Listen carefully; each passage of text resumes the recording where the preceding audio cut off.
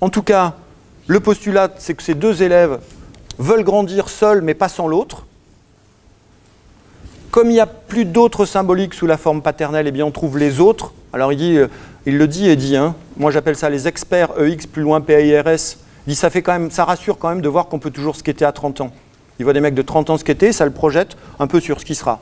Et puis Asial fonctionne avec un autre qui est un autre transférentiel, identificatoire, qui est Madame D, pas ses parents. En tout cas, j'ai vraiment le sentiment que l'EPS, ça c'est le schéma que j'ai trouvé, c'est le fameux point de rencontre. Hein en éducation physique, il y a quelque chose qui fait qu'entre le sujet, le corps, les APSA, la voix et la parole du maître, il y a quelque chose qui permet aux élèves de se rencontrer. Vous vous souvenez d'Eddie? Il aimait bien se retrouver. Le skate, c'est bien parce qu'on peut se retrouver.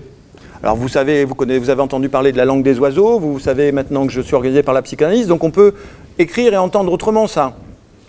Se trouver à nouveau, ça c'est la langue des oiseaux, se retrouver, mais c'est aussi se retrouver. Donc il y a quelque chose du côté de la satisfaction EPS qui consisterait à pouvoir quitter cette morcellisation du corps que vous présentez Gantray. Alors je vous ai fait un peu, je vais aller vite, hein, mais je vous ai fait un peu une fin, la Seigneur des Anneaux. Vous vous souvenez, il y a plusieurs, euh, il y a plusieurs fins. J'ai le grand sentiment qu'en éducation physique et sportive, on peut accompagner, parce qu'on accompagne les changements du corps, la métaphore absolue d'aide au changement du corps, vous avez tous vu Harry Potter. Qui n'a pas vu Harry Potter? Dans, Harry Potter 2, la chambre des secrets, Harry, Hermione et Ron prennent du polynectar pour se transformer en crabe et goyle pour aller voir dans une autre, euh, euh, dans une autre chambre si est bien, si Malfoy est bien le méchant. Et donc ça, c'est une métaphore de l'adolescence. On prend un produit, pof, on devient très grand, les, les chaussures craquent, on devient très grand, mais c'est très rassurant pour les ados, parce que ça dure pas longtemps. Alors c'est un peu sexiste, j'ai une fille qui travaille sur le féminisme, elle me dit oui mais tu comprends, euh, la seule qui rate c'est Hermione parce qu'elle a pris un poil de chat, ça ne fonctionne pas. Néanmoins, néanmoins la métaphore qui aide, la métaphore qui aide, dans Harry Potter, c'est pas la seule bien évidemment, mais celle-ci est intéressante parce que les ados, leur grande question c'est qui suis-je? Je est un autre, disait Rimbaud. Qui suis-je? Je suis plus l'enfant que j'étais, je ne suis pas un adulte, mes parents sont pénibles, range ta chambre, sois autonome, viens me faire un bisou. C'est pénible ça quand on, est, euh, quand on a 15 ans. Vous vous souvenez pas, mais ça a été pénible. Et puis, du coup, on voit bien qu'on retombe sur quelque chose qui a été écrit il y a longtemps, en 99, par euh, Annick Davis. Elle papote, il gigote. Vous vous souvenez de ça? Eh bien là, on voit bien que c'est vraiment genré ce rapport à, à l'inconscient. Asia veut savoir quel est son corps et l'autre veut savoir que peut mon corps.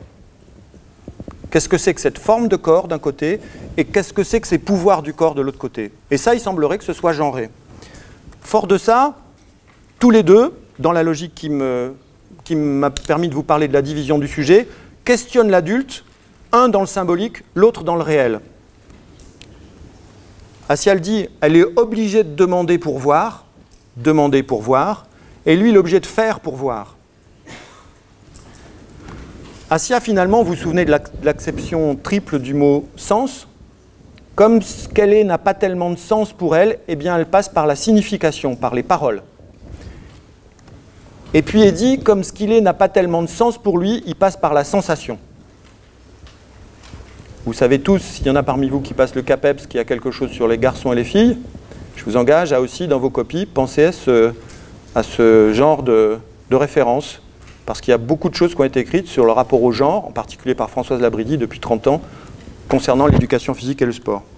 En tout cas, ces deux ados sont ce que Philippe Guton appelle des pubertaires savants. Des pubertaires savants, ça veut dire finalement qu'ils désirent savoir, hein, la fameuse pulsion épistémophilique qui nous réunit tous aujourd'hui, le désir de savoir. Hein. À deux ans, les petits-enfants veulent savoir ce qui se passe dans la chambre à coucher, parce qu'ils ont une vague impression que ça vient un peu des parents, leur existence. Les parents normalement constitués ferment la porte de la chambre, donc castration du désir de savoir. Et puis qu'est-ce qui se passe? L'école arrive et on transforme le désir de savoir en désir du savoir. Et là, nous sommes tous encore organisés par le désir du savoir. Eh bien, eux trouvent une façon d'aller du côté du désir de savoir. Qui suis-je? Ils désirent savoir, ils savent savoir, tous les deux ont trouvé une façon de faire.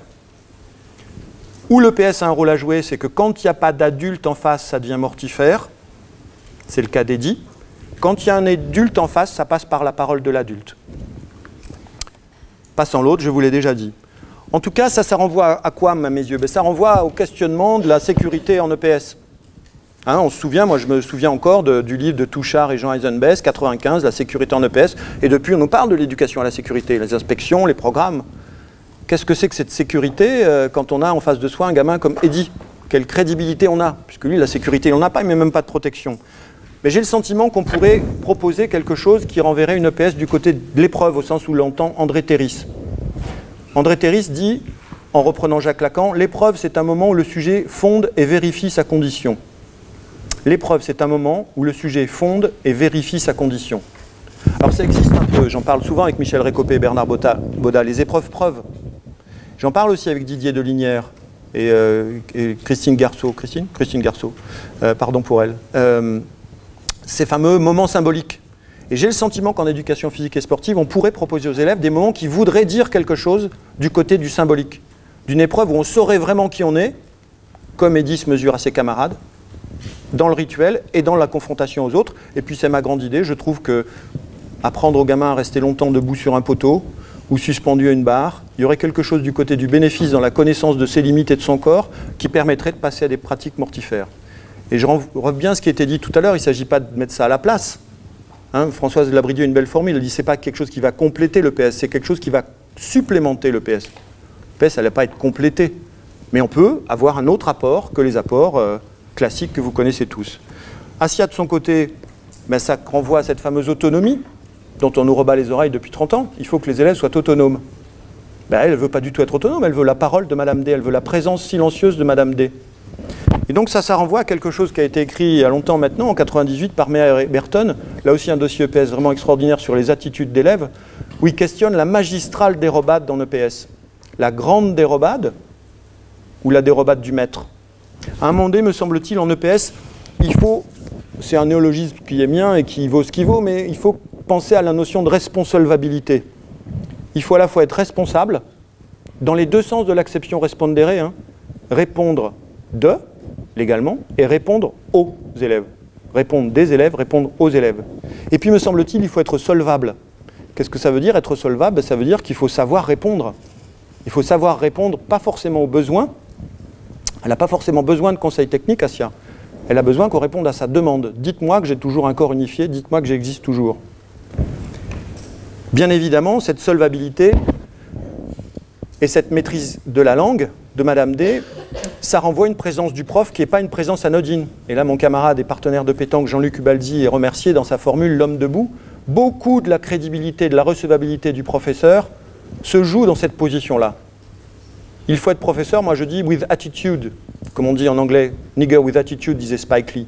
Il faut à un moment donné assumer qu'on est quelqu'un qui peut être questionné du côté de la demande et pas du côté des besoins. On est quelqu'un qui doit pouvoir prendre en charge la pulsion mortifère d'un adolescent. Et ça, ça renvoie au questionnement des deux compétences d'enseignant, qui sont la compétence 3, connaître les élèves et les processus d'apprentissage, et puis à la compétence 6, qui est maîtriser la langue française. Comment faire pour... Moi, j'essaye, comme je peux, de former mes étudiants autour de ça. Comment on peut entendre autrement ce qui se dit dans vos cours? Comment vous, pouvez, vous devez connaître les élèves au-delà de la physiologie, au-delà des niveaux euh, euh, proposés par Piaget? Je caricature un peu, mais je, vais dans ce sens-là. En tout cas, Asia nous aide. Voilà pour elle. Est-ce que tu penses que Madame D, c'est une bonne prof? Elle me dit oui, Madame D, c'est une bonne prof. Vous vous, souvenez, elle n'arrêtait pas de lui poser des questions. Elle dit c'est quand même quelqu'un qui ne me force pas à parler sans arrêt. C'est intéressant. Et elle fait, en fait, elle dit, voyez, c'est pas, c'est pas quelqu'un qui me questionne, c'est quelqu'un un attendeur. C'est quelqu'un qui finalement est là, homme debout, et qui reçoit les questions et qui répond par contre quand on pose des questions. Et vous voyez la subtilité, parce que Madame D, je dis, je lui réponds pas, je lui fais des petits signes de tête. Donc la réponse, c'est pas du côté de ce qui est demandé, c'est du côté de ce qui est attendu. Là, c'est un savoir-y-faire professionnel en tout cas, mon idée, c'est vraiment de construire et penser une EPS qui s'enseigne des adolescents. Hein. Quand j'étais dans ma thèse, j'avais fait des entretiens avec une jeune stagiaire parisienne de Perpignan. Et elle me disait, je vais vous faire l'accent de Perpignan, je ne sais pas s'il est très bon, mais en tout cas, c'est grâce à l'accent que j'ai entendu l'équivoque de sa parole. Pour moi, ce qui m'importe, c'est de devenir professeur. Moi, j'ai toujours voulu devenir professeur. Euh, vous comprenez, moi, devenir professeur, c'était mon rêve. Et puis, au bout d'un moment, devenir professeur, je l'ai entendu, D apostrophe EX, venir professeur. Devenir professeur. C'est ça qu'on a tous en commun. Quand on est prof, on est devenu prof par les élèves.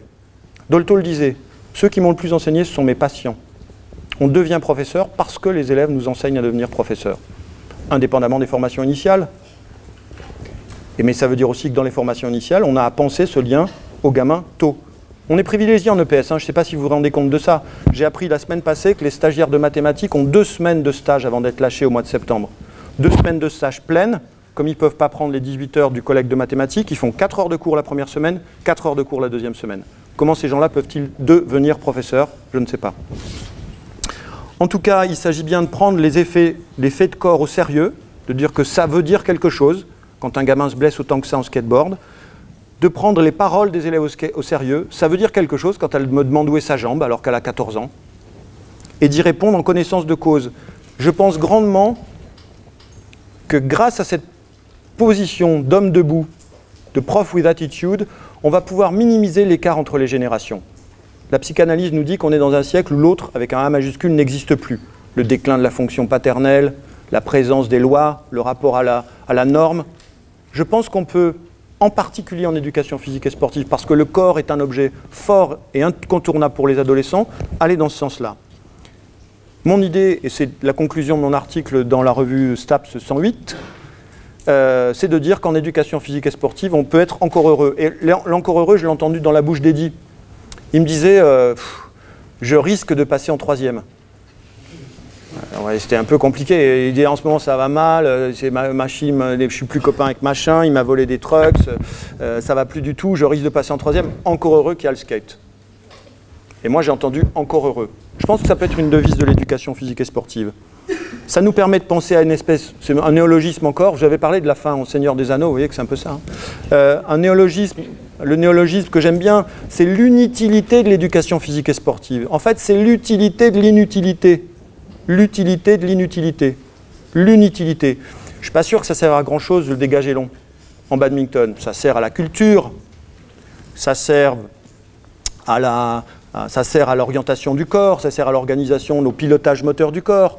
Mais en soi, je suis toujours embarrassé par cette utilité à tout craint qui fait qu'on pousse doucement l'éducation physique du côté de la poésie plutôt que de la laisser du côté de la praxis. La poésie, chez Aristote, c'est finalement tout ce qui concerne les actions humaines qui ont une fin et dont l'importance est la production. Et la praxis, c'est toutes les actions humaines qui ont une importance pour ce qu'elles sont en elles-mêmes pendant qu'elles sont faites.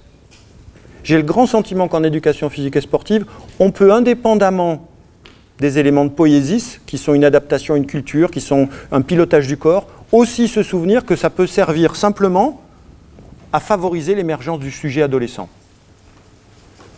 Et pour ça, je termine presque sur mes pieds, ben, ça veut dire qu'il faut changer quelques éléments dans sa conception, dans la formation. Tu parlais tout à l'heure du chantier du XXe siècle, je pense qu'il faut vraiment s'atteler à ça. Et dans mon idée, l'éducation physique et sportive, ça doit laisser à désirer. Je vous laisse sur une équivoque. Je retombe sur ce sujet merveilleux posé, à mon avis, à la, Monsieur Jourdain, le connaissant bien, euh, par André Pétavin. Comment l'enseignant de PS peut-il préserver la place du désir dans les apprentissages? Il y a 20 ans maintenant que je travaille autour de ça. Je crois pouvoir dire que ma seule petite avancée, c'est de dire que ça doit laisser à désirer. Voilà, je vous remercie.